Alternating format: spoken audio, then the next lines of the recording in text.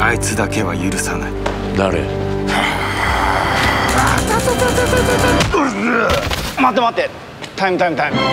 大人気コミックがついにドラマ化。ヤクザに母親を奪われた。絶対殺す。修行の末最強のマッサージ師になった。ん？私を弟子にしてください。先生はなんで指圧師になったんですか？復讐。やべえよこいつ立たないんだよ。てめえらに今夜を楽しむ資格はある。ねえのトーンで言うなよ。簡単な肩ほぐしの客が来る。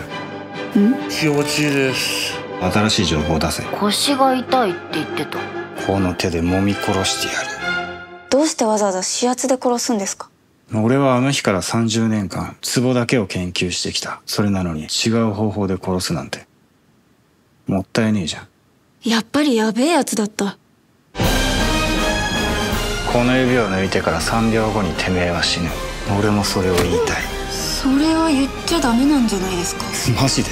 笑いのツボを押しまくるマッサージ復讐劇が始まる。あいつは俺の手で殺す。ケンシロウによろしく。お前はもうほぐれているお前バカにしてるだろ俺ってそんなんかよそんなんだよ